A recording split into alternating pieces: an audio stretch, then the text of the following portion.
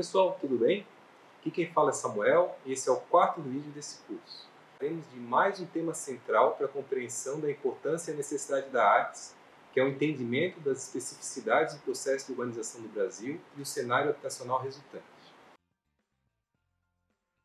Essa distribuição desigual poderá ser entendida por meio das diferentes condições que os habitantes têm, o que evidencia que a segregação urbana ela separa os grupos em locais diferentes, na maior parte das vezes marcados pela relação centro-periferia.